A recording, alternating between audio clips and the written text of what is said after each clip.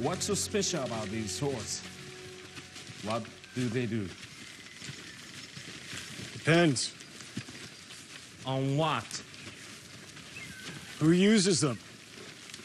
What about a tall, strong, brave man like me?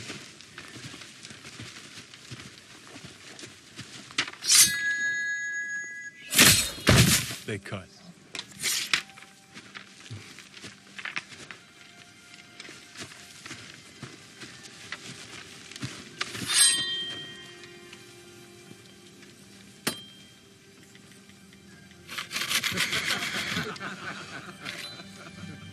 I think mine is broken.